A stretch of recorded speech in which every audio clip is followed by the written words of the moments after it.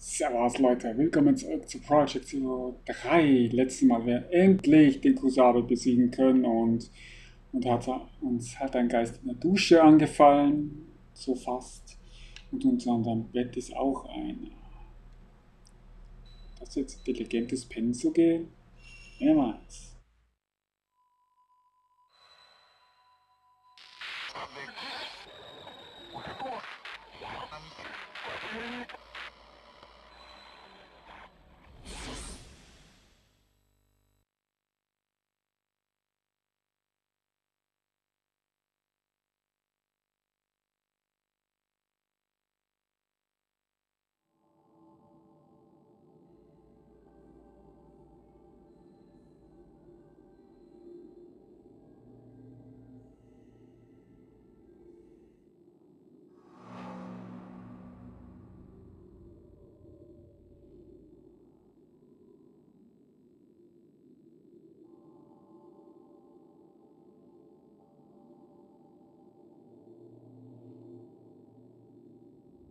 Die Entfesselung. Was war das?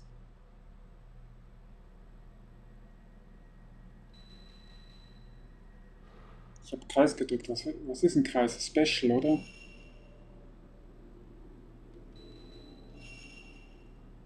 Ja, Special. Gut, ich habe schon mal ein von vier Specialen verschwendet. Egal bin ich überhaupt?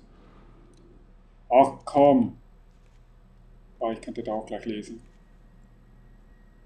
Der Tattoo-Bluterguss. Jedes Mal, wenn ich vom Haus träume, wird der Bluterguss, das Tattoo, größer. Ich fand so ein Tattoo in einem Volkskundebuch. Ein Schlangen- und Stichpalmenmuster. Laut alter Sage steht das Tattoo für Schmerz, Palme und Sehnsucht eines Mädchens, dessen Liebster starb. Wie meine Sehnsucht nach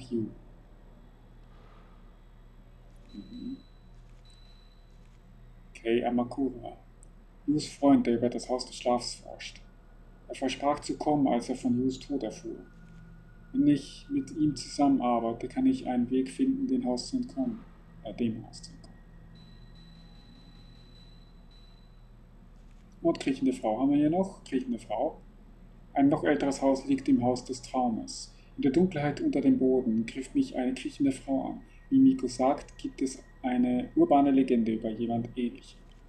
Sie basiert auf der wahren Geschichte einer Frau im Unglück gefangen. War sie jemand, der auch vermisst wurde, so wie Yoshino Takigawa? Okay, ähm.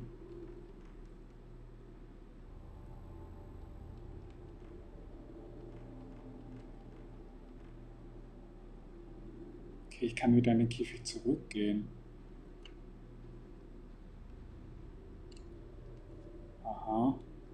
Ich kann nicht vorbeigehen.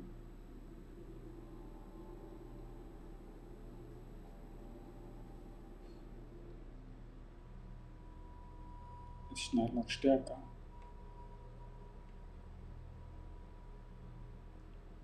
Moment mal, ist das jetzt? Nee, das ist nicht die Tür mit dem Speicherpunkt. Hä? Warum hier? Ja gut, äh, ich erinnere mich wenigstens daran, wo ich lang gehen wollte. Gerade noch erwischt, Fräulein.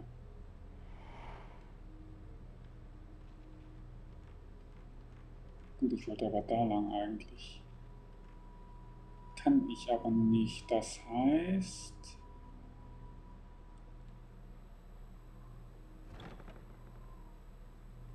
Komme ich hier raus? Nee.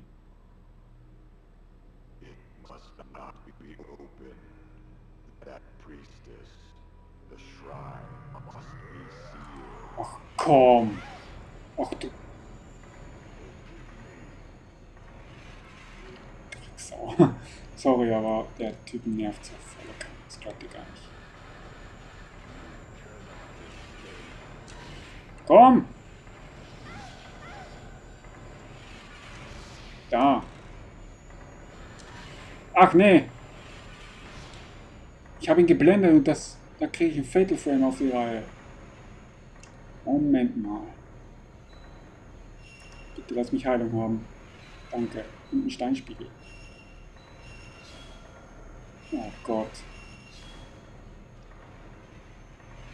Genau, ich hab den blauen.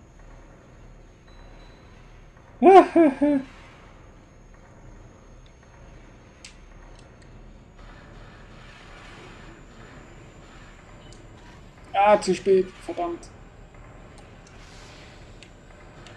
Ach! Oh. Ja, kann ich eh gleich wieder von vorne anfangen. Aber jetzt fast alle Specials weggeworfen.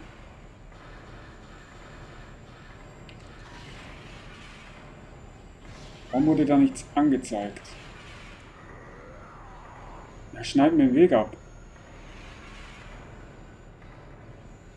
Okay.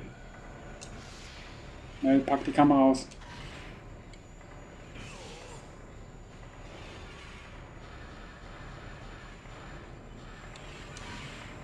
Ja, irgendwie kriege ich...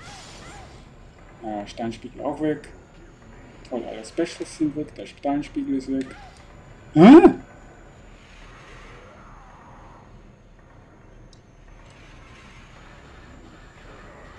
Ich fest. Ja, ist er tot? Auf dem Foto sieht man etwas.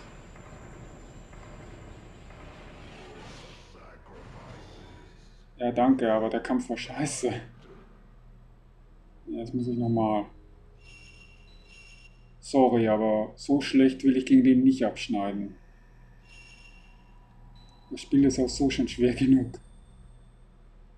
Also vom Schwierigkeitsgrad her ist das hier bisher der schwerste Teil. Weil äh, Project Zero 1 gut geht so. Project Zero 2 habe ich nicht so schwer in Erinnerung. Dann haben wir diesen Teil hier. Project 4 war aus einem anderen Grund schwer. Nicht wegen dem Schwierigkeitsgrad, Schwierigkeitsgrad an sich, sondern weil ich das mit den Rätseln nicht hinbekommen habe, aus verständlichen Gründen, die ich jetzt hier nicht nennen will. Und Project Zero 5 war an sich sehr einfach sogar. Ich glaube sogar der einfachste. Aber auch der beste Teil. Der zweitbeste ist Teil 1. Der drittbeste ist Teil 4. Der zweitschlechteste ist Teil 2 und der schlechteste ist bisher dieser hier. Ich meine, ich werde mein komplett Resümee dann am Ende machen. Schauen wir mal, vielleicht zieht dieses Spiel ja noch an und überholt noch anderes. So. Ein Mädchen.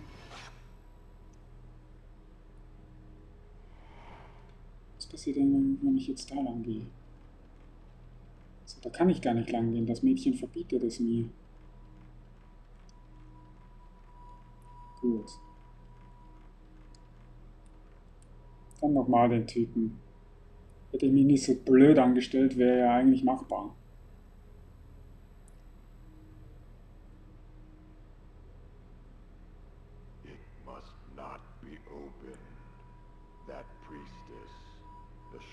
Finde Reis Oberteil echt sexy.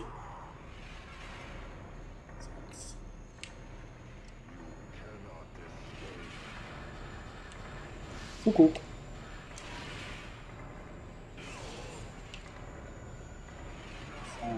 Vielleicht sollte ich mir Specials aufheben für irgendwelche krassen Geister. Der hier, der geht ja eigentlich.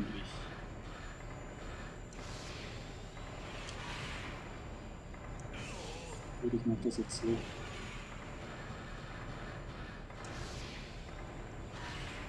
So. Lieber auf Nummer sicher. Nein! Ich hätte auch so den äh, Fatal Frame hinbekommen. Verdammt! Na, egal. Hauptsache der Typ ist weg. Ja, also jetzt No-Hit, du Flasche. Küss meine Füße. Gut, äh, ich glaube, ich sollte den Scheiß lassen. Jetzt habe ich nur nicht, nur, nicht, gesehen, was ich von ihm bekommen habe. Also ein Bild, ganz klar, aber ich glaube, ich muss jetzt nochmal gucken, welches Bild das war.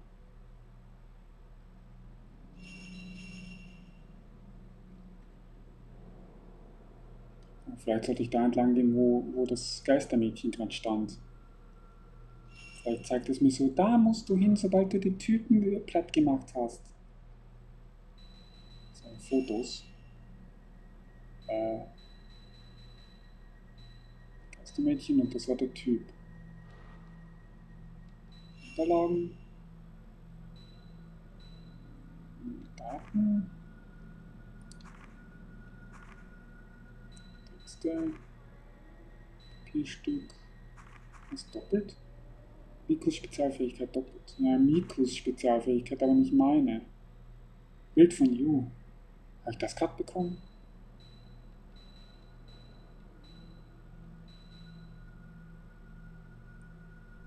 Das Bild, das ich von You beim Auftrag in einem verlassenen Haus machte.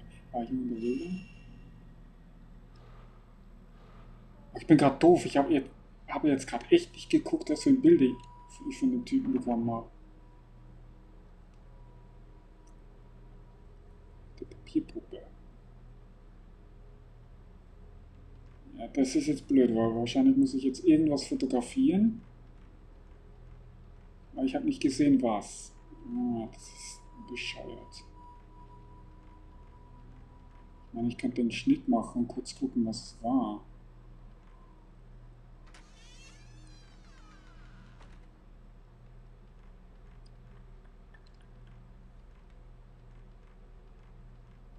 Sollte ich den Party beenden, aber dann ist, äh, dann ist er zwölf Minuten lang und das ist irgendwie lame. Bei die früheren YouTuber, die hatten auch nur 10 Minuten und 59 Sekunden.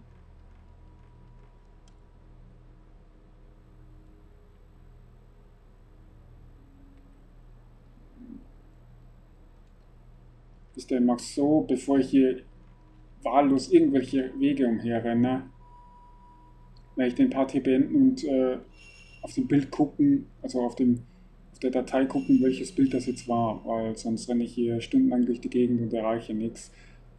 Wobei so ist auch wieder ein Video mehr zum Hochladen, ach egal. Mir bleibt gerade keine andere Wahl, also mache ich es so. Gut, dann würde ich sagen, das war Project 03, der Tormented. Zwar eine kurze Folge, aber naja, was soll's. Ich hoffe, es hat euch gefallen und wir sehen uns das nächste Mal wieder.